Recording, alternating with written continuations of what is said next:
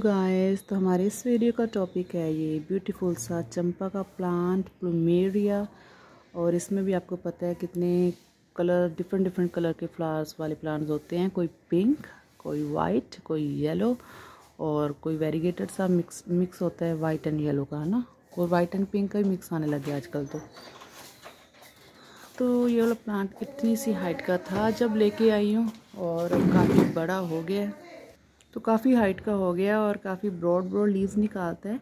वैसे लीव्स निकालने में इसको टाइम लगता है, ऐसे नहीं कि हर रोज़ नई नई लीव्स निकालता है, क्योंकि काफ़ी बड़ी बड़ी लीव्स इसने निकालनी होती हैं।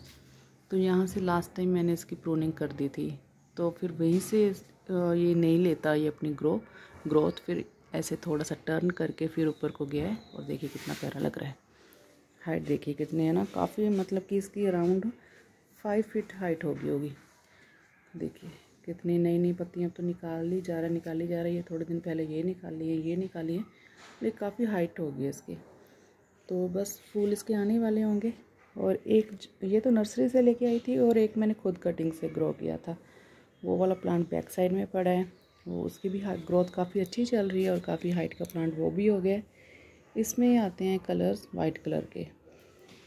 डायरेक्ट सनलाइट का प्लांट है, अगर ये ग्राउंड में होता तब तक चाहे और भी बड़ा हो गया होता, लेकिन पॉट में फिर थोड़ी सी ग्रोथ रेट इसकी कम रहती है।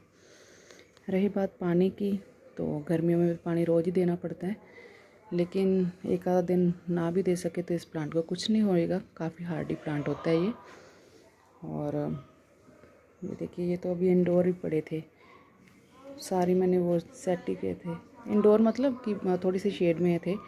तो अब इसको प्रॉपर धूप वाली जगह लेके जा रही हूँ। पहले बैंगन वगैरह के प्लांट्स मिर्ची के प्लांट्स को धूप में शिफ्ट किया है। अब इसको धूप वाली जगह पे लेके जा रही हूँ। तो वहाँ पे और भी अच्छी इसकी लुक भी आएगी। अब प्लांट्स के अंदर ही मर्ज हुआ पड़ा है, वहाँ पे डिफरेंट सी लुक आएगी। मेन एंट्रेंस की एक साइड में रख के आऊँगी इसको। और खाद खाद खुद तो मैं नहीं देती, जैसे मैं वीडियोस में आपको ऑलमोस्ट बताती रहती है मोस्टली तो इसको बस वही है, मिट्टी, पानी, गमला। और नीचे इसके जो लगे हुए हैं, यहाँ कटिंग लगी हुई है ड्रेसिना की। ड्रेसिना भी इस बार तो कटिंग से बहुत ग्रो किए हुए हैं। ये आई थिंक वही होगी जैस्मिन ही होगी, और तो क्या होगा। जैस्मिन की कोई वैरायटी इसी में रखती थी मैंने छोटा सा जेड की, मैंने प्रूनिंग की थी एक शेप देने के लिए तो छोटी छोटी कटिंग्स इसमें लगा दी थी। पोली बैग में प्लांट आया था तो इसमें लगी हैं वो। और ये वाटरमेलन ये देखिए।